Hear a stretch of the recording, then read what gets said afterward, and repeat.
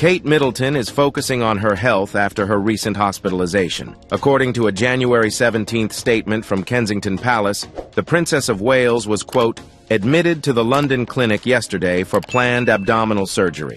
They continue in their statement, quote, the surgery was successful, and it is expected that she will remain in hospital for 10-14 days before returning home to continue her recovery. Based on the current medical advice, she is unlikely to return to public duties until after Easter. The palace goes on to note that while Kate appreciates the interest this statement will generate, the royal family member hopes that the public will understand her desire to maintain as much normality as possible. For her and Prince William's children, Prince George, Princess Charlotte, and Prince Louis. Additionally, Kate will be taking time out of the public eye while recovering. The Princess of Wales wishes to apologize to all those concerned for the fact that she has to postpone her upcoming engagements. She looks forward to reinstating as many as possible as soon as possible.